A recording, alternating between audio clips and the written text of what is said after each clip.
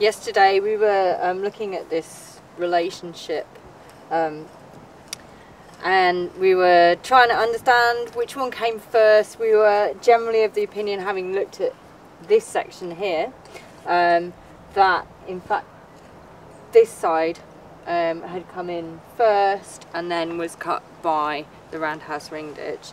Um, having had a really good clear up of it um, yesterday afternoon, just before it hammered it down with rain again, um, we've looked at this side and then we've also looked at this side and we've changed our minds completely about what we think is happening. we can just see now where um, John's actually gone in and overcut this a bit and we've got the ditch profile coming through a bit better.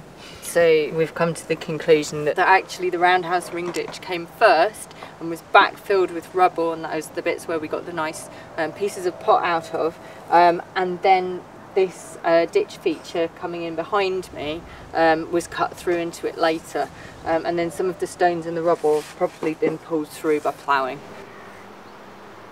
So is this a new trench? It's got three features in it. It's got a ring ditch in that end.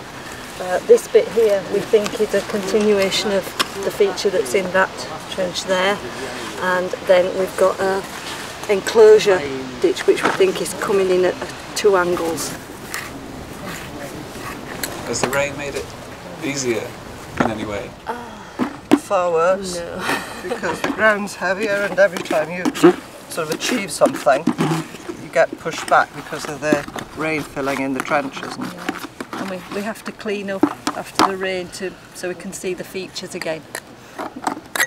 It, it doesn't help. and of course we have to mop up all the uh, the puddles before we can start digging. I mean the trench there's full full of water.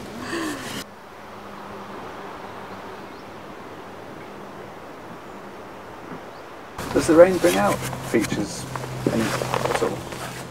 Um, it hasn't really done here because it's uh, sand. It's kind of obscured things more than brought it out. I guess it will, it will probably bring up the colour a little bit. It tends to create a spotty effect which doesn't really help. In this case it's just caused a lot of sand to run into the, the base of the trench.